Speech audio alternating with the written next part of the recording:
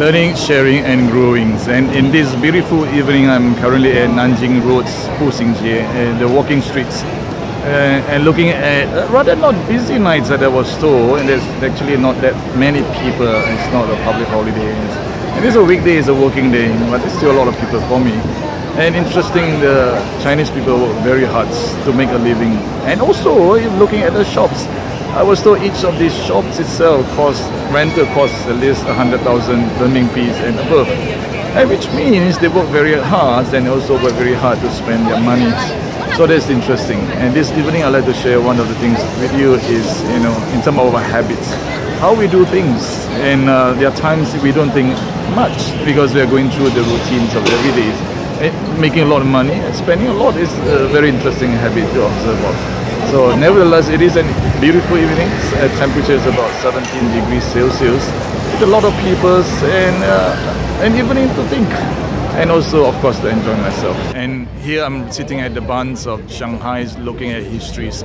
As these beautiful nights of about 18 degrees Celsius now, as we look at the beautiful landmarks of Shanghai, as we can see some of this building at the back was one time occupied by the Western countries and it's been preserved until today so that people today can remember that you know they were at the points of being vulnerable and uh, was uh, difficult times for the people of this country.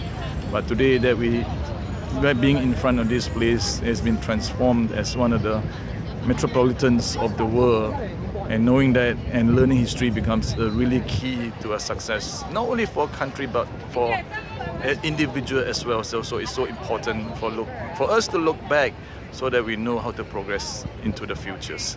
So with this beautiful nights that I do hope that it remind us, you know, how and what can we do for our own life, looking back so that we can move to the futures.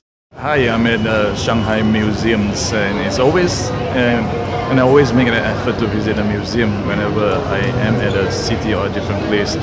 You know, museum is like telling us histories or even a story of the past and for us to see and give an idea how the future gonna look like.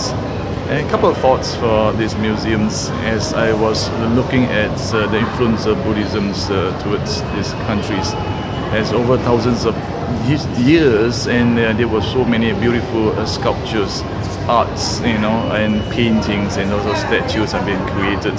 There's so much effort to put in into really creating really fine arts and such. So as I look into today's and uh, and we, we do still worship globally and globally most people are worshipping uh, Facebooks, YouTube, Gmails and the rest so what kind of futures are we looking at as we uh, move forward and progress and looking at different things and uh, putting importance in our times on very different things compared to the past. And because that will actually shapes the cultures and how human uh, beings will evolve into into the future. Thought that was something interesting. And and also uh, when I went into the hall that uh, shows engraved seal and also the hall that talk about ethnicities and with different ethnicity it's so beautiful and so creative. But the thing is as nations as we look at nations today trying to create same, sameness trying to impose on the same things not only from language cultures and, and such things. And but sometimes we do think that it's different from others that stand out and that is unique. But at times we feel a bit odd we just want to follow the crowds. So what about you? And it, it takes courage to be different to be unique and to be different, to be unique than the rest of the world or the rest of the friends that you have. Until we speak again next week. Thank you.